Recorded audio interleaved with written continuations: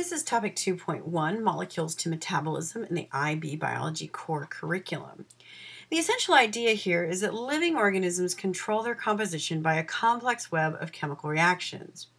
And so what you see here on this opening slide is a diagram that is a small part of a huge chart containing nearly all the metabolic pathways of eukaryotic cells. And so when you look at this chart, what does this excerpt tell you about the complexity of the reactions that run a cell? So that's something to think about as we're talking about you know, molecules to metabolism. The understandings for this topic are listed here. They're in your study guide, as well as the applications and skills. So when we talk about, you know, molecules, we have to think about it in terms of molecular biology. And one of the first um, introductions to molecular biology was when the structure of DNA was elucidated by Watson, Crick, uh, Wilkins, and Franklin in 1953. And since then, molecular biology has really done a great job of transforming our understandings of living processes. And one of the, the key tenets of molecular biology is what's called the central dogma. It's the relationship between genes and the proteins they generate, basically, that information in living systems flows from DNA to RNA to proteins. And so this is a really, really important you know, idea in biology. You know, the approach that molecular biologists tend to use is what's called a reductionist approach, meaning that they take the steps of a larger pathway and break the steps down into their constituent parts.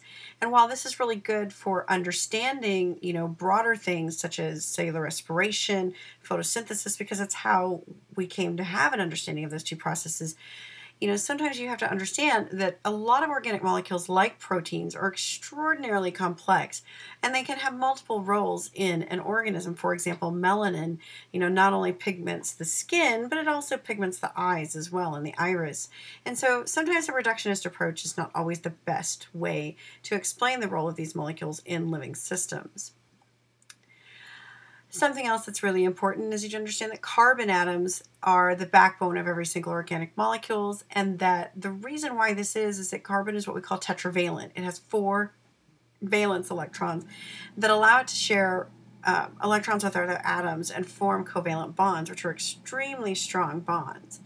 And the tetravalence of carbon allows for it to produce the wide variety of organic molecules that you see here. So, for example, you see the largest you know the largest molecule in a living system called titin, which has over 169,000 carbon atoms itself, and then um, cholesterol here, which is a large fat, and then here cellulose, which is a repeating unit of an individual glucose molecule over and over again. And that life is based on carbon compounds, including things like carbohydrates, which we'll talk more about in 2-3. But just know that carbohydrates contain carbon, hydrogen, and oxygen, usually in a proportion of one carbon to two hydrogens to one oxygen.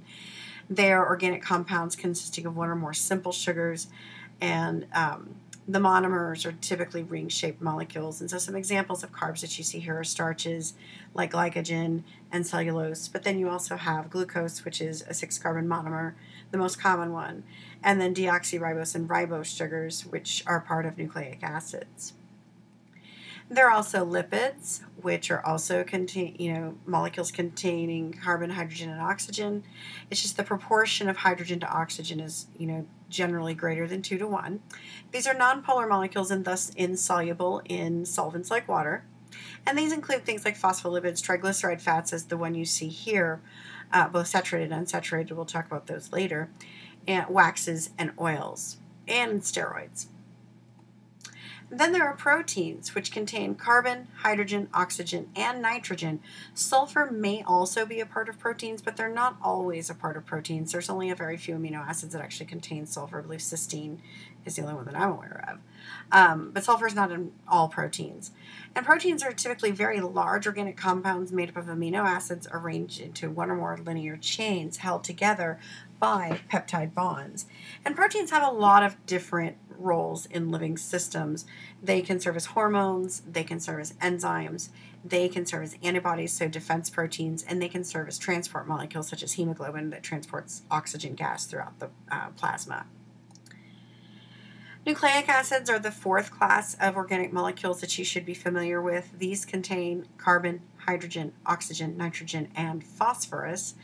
And the monomers of these molecules are called nucleotides, and they consist of a base, a, a nitrogen base, a sugar, usually it's going to be a five carbon sugar, ribose or deoxyribose, and a phosphate group that are covalently bound together.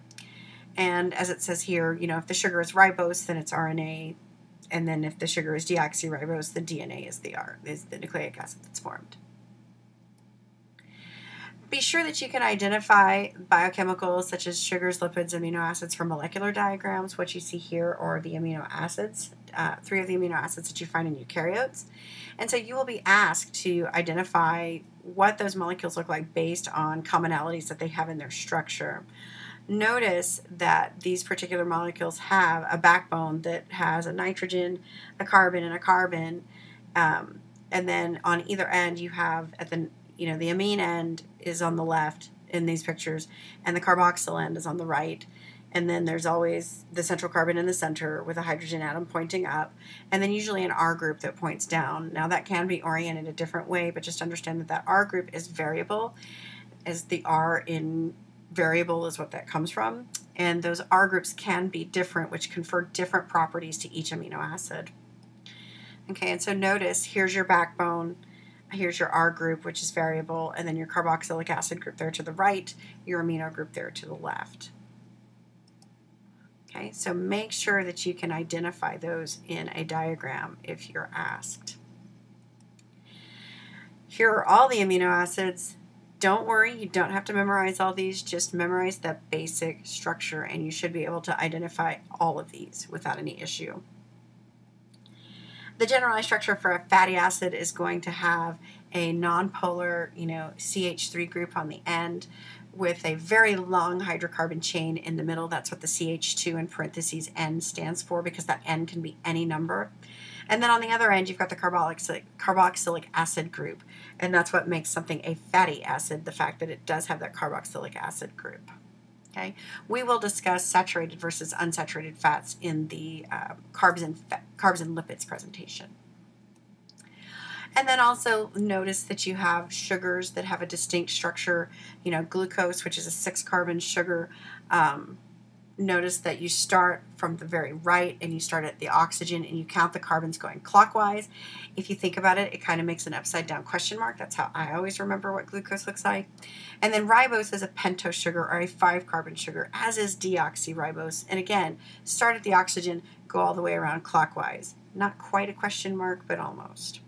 And then you can see here there are several different representations of, car- of carbohydrates, glyceraldehyde, which is a three carbon sugar, and then ribose, glucose, fructose, and galactose. Notice that glucose, galactose, and fructose are all C6H12O6 sugars, but they have different structures, and this makes them what we call isomers. Remember that metabolism as a concept is the sum of all the pathways used in a particular cell. So think, do you think that all these pathways are catalyzed by the same enzymes? And so here you have, you know, just a refresher about what enzymes are. They're class of proteins that catalyze chemical reactions. And then what a catalyst is. It's a substance that increases the rate of reaction in a chemical reaction without undergoing any permanent change itself. It's usually not, it's not used up and it's not changed. Part of metabolism includes discussion of anabolism, which is the synthesis of complex molecules from simpler molecules. So, in other words, taking monomers and making them into polymers through the process of condensation. Um, and then catabolism is the opposite of that. It is the breakdown of complex molecules into simple molecules using hydrolysis. So notice condensation means water releasing and hydrolysis means water splitting. So when we talk about anabolic reactions, think building. So for example, if somebody takes an anabolic steroid, they're taking it so that they can build muscle.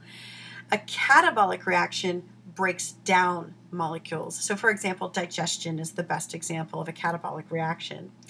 Um, and so what you're seeing here is a diagram representing condensation and a diagram representing hydrolysis. Okay, and then here you go again. Notice that condensation removes a water molecule to join two monomers together to form, in this case, a dimer. And then if it happens over and over again, it's going to form a polymer. But notice on the bottom of the diagram, when a water molecule is added back in by something called a by an enzyme called a hydrolase, you're getting those polymers broken down to dimers broken down to monomers. And so those two processes are complementary to one another. And so here's a couple of, you know, more specific examples of anabolism by condensation. The formation of maltose from two molecules of glucose that forms a glycos- excuse me, a glycosidic bond. And then ribosomes, which you don't see here in the picture, but where this process would take place of amino acids being formed together to produce a peptide bond. Okay, the bonds that are going to be formed, both that glycosidic bond and that peptide bond, are what we call covalent bonds. And in fact, these are what we call polar covalent bonds because they're very, very strong, very difficult to break. And then catabolism through hydrolysis would occur when, say, for example, a protease, an enzyme that is designed to break down proteins into their constituent amino acids, you know, bonds to the peptide bond and introduces a water molecule to break those peptide bonds apart so that the two amino acids can be formed um, whole again. Okay, another example would be lactase hydrolyzing lactose into glucose and galactose by breaking that glycosidic bond. And then finally, um, one of the things that you need to understand is this that urea is this compound that we as living organisms make. It's actually the byproduct of protein metabolism. It's produced by our liver, removed by our kidneys in our urine. Um, but you also need to understand that that's something that can be made in a lab. You know, we as living organisms don't have exclusive, you know, right to making organic molecules. And this idea back in the day called vitalism was this idea that living things are different than non living ones because living things have a non physical element or are governed by different principles than non living things. And so one of the one of the first experiments that was done to kind of disprove this idea of vitalism or to discredit this idea was when Friedrich Wöhler made urea in the lab on accident, and it was totally serendipitous. He was actually trying to prepare another compound called ammonium cyanate, and when he prepared it, he noticed that the crystals in the the glassware he was using kind of familiar to him. He's like, "Wait a minute, this is not, you know, something that is just made in the lab. I've seen this in living things." He was a physician, by the way, and a chemist, and so he basically said, "Look, you know, I've made urea without a kidney." This is actually pretty cool. And so the fact that he was able to do this in a lab discredited the idea that only living things could create organic matter. And so I think it's a really important thing for you to understand that, you know, theories and hypotheses over time do change as we collect more and more evidence, you know, to, you know, perhaps not support them as Friedrich Wöhler did. And just FYI, the information that was found in this presentation that was originally created by Chris Paine and modified by me are found at these following sources.